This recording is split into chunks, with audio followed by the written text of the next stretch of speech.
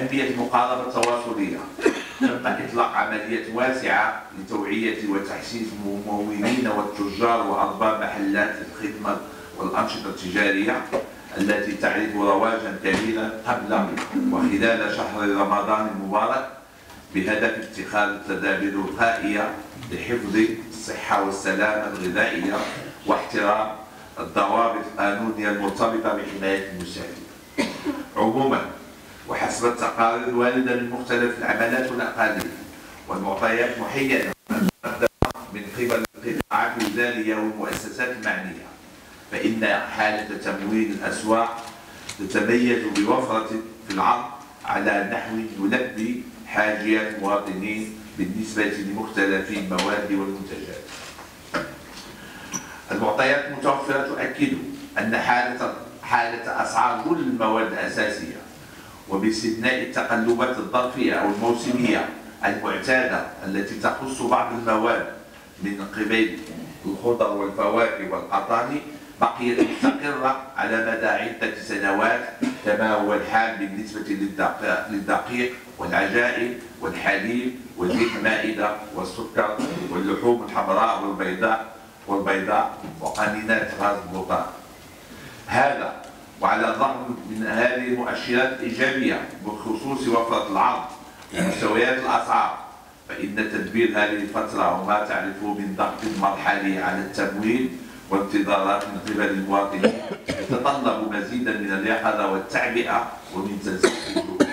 على اعتبار أن واجب حماية المستهلك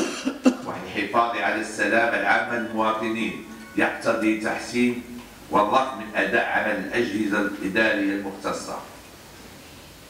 بهذه المناسبة أجدد التأكيد على أن تعبئة مصالح المراقبة بمختلف اختصاصاتها هي الكفيلة بضمان شفافية معاملات تجارية ومواجهة كافة ممارسات غير مشروعة بشأن الأسعار وجودة المنتجات الغذائية وشروط الصحة ومعايير السلامة.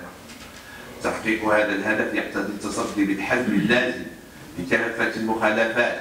واتخاذ ما يلزم من عقوبات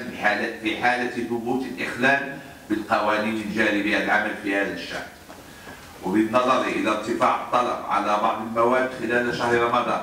فقد تم اتخاذ جميع التدابير الاستباقية من أجل ضمان تموين كاف ومنتظم للأسواق والحرص على تداول أي نقص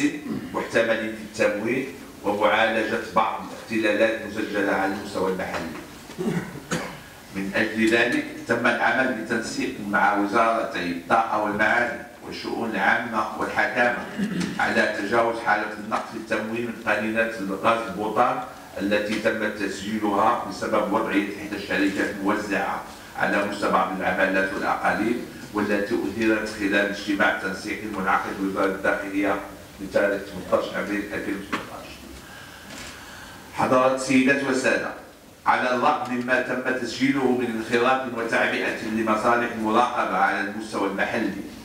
فإني أجدد التأكيد على أن عمليات مراقبة وتتبع الأسواق لا ينبغي لها أن تكتسي طابعا روتينيا ونساباتيا بل يجب أن تندرج في سياق الاستمرارية والتطوير المتواصل لآليات العمل والتنسيق بين مختلف المتدخلين واستيضاح المخاطر إن تدخل أجهزة مراقبة ينبغي إضافة إلى طابعها الوقائي والزجري أن تقترن بواجب مصاحبة التاجر ومقدم الخدمات باعتبار أن المراقبة هي أيضا تعبير من الإدارة عن قربها من التاجر والمستهلك على حد سواء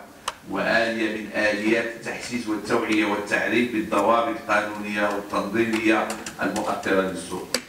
وهذه مسؤولية يتقاسمها مع الإدارة جميع الفاعلين من منتجين مستوردين وتجار ومستهلكين وجمعيات المجتمع المدني والمنتخبين.